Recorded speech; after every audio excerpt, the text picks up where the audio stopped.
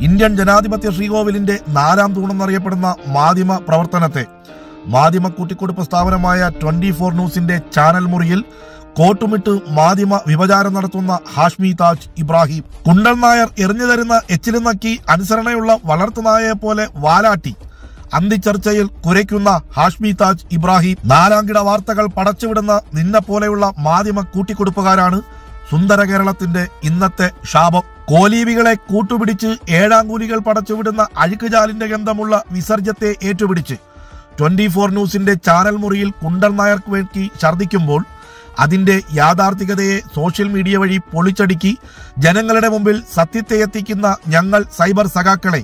Cyber കുണ്ടകളെന്നും cyber അടിമകളെന്നും വിളിക്കാൻ നിനക്കും തോന്നും ആഷ്മി താജ് ഇബ്രാഹിമെ. ഒരു നേരത്തെ ആഹാരത്തിനു വേണ്ടി അന്യന്റെ മുമ്പിൽ തുണിയഴിക്കേണ്ട ഗതികെട്ട പെണ്ണിനെ നാണിപ്പിക്കും വിധം ബോംബെ റെഡ് സ്ട്രീറ്റിലും കാമാത്തിപുരത്തും ശരീരം വിറ്റ് ജീവിക്കുന്ന പെണ്ണിനെ തോൽപ്പിക്കും വിധം. കുണ്ടൻ നായരുടെ എച്ചില തിന്നുന്നതിന്റെ നന്ദി കാണിക്കാൻ വാലാട്ടി അനുസരണയുള്ള വളർത്തുനായയെ പോലെ മാധ്യമ കൂട്ടിക്കൊടുപ്പ് നടത്തുന്ന മാപ്ര എന്ന വിനീതയുടെ ഓക്കാനത്തെ അമൃതായി സ്വീകരിച്ച് ചാനൽ മുറിയിൽ കോട്ടിട്ട വളർത്തുനായ പോലെ നീ കുരയ്ക്കുമ്പോൾ മലയാളികൾ കാണുന്നത് പെണ്ണിന്റെ മാനം വിറ്റ് ജീവിക്കുന്ന മാമയെന്നും പിമ്പെന്നും വിളിക്കുന്ന കൂട്ടിക്കൊടുപ്പുകാരന്റെ റോളാണ് ആഷ്മി. കോട്ടിട്ട മാധ്യമ കൂട്ടിക്കൊടുപ്പുകാരനായ ആഷ്മി താജ് ഇബ്രാഹിം. അഞ്ച് രൂപ അധികം തന്നാൽ എന്ത് വൃത്തികേടിനും കൂട്ടുനിൽക്കുന്ന നിന്നെ പോലെയുള്ള മാധ്യമ കൂട്ടിക്കൊടുപ്പുകാരോട് ഞങ്ങൾ സൈബർ സഖാക്കൾക്ക് ഒന്നേ പറയാനുള്ളൂ.